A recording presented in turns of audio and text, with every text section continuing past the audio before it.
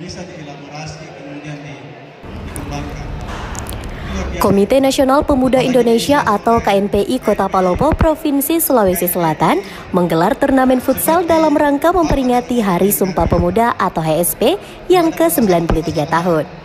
Turnamen futsal antar kelurahan sekota Palopo ini dibuka secara resmi oleh Kepala Dinas Pemuda dan Olahraga Palopo, Sukifli Halid, di lapangan futsal Sinar Setuju, Rabu 27 Oktober 2021.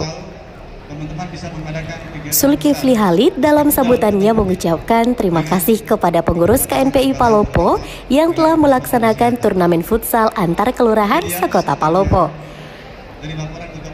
Turnamen futsal tersebut dinilai luar biasa karena dilaksanakan di tengah pandemi COVID-19, di mana tetap mengedepankan protokol kesehatan yang ketat.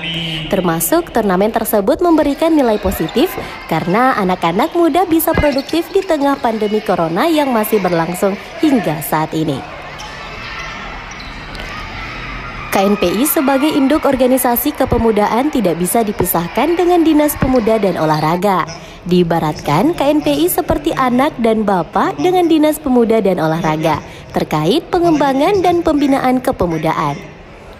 Apalagi dalam rangkaian peringatan Hari Sumpah Pemuda yang ke-93 tahun 2021 ini.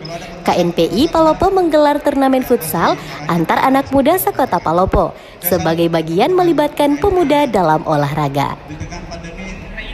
Sementara itu, Ketua KNPI Palopo Umar SEMM mengatakan, turnamen futsal tersebut diikuti oleh kelurahan yang ada di kota Palopo dan akan berlangsung selama dua hari dengan memperebutkan hadiah puluhan juta rupiah.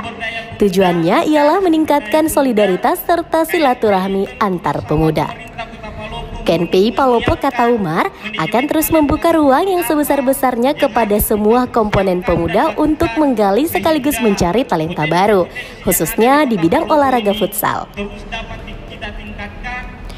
Melalui turnamen futsal tersebut, Umar berharap kegiatan ini dapat melahirkan atlet futsal berprestasi di kota Palopo. Dia menyampaikan ucapan terima kasih kepada semua pihak yang telah membantu terselenggaranya turnamen futsal antar kelurahan sekota Palopo, terkhusus pengurus KNPI Palopo. Wartawan Koran Seruya Ayub Sadega melaporkan dari Palopo, Sulawesi Selatan.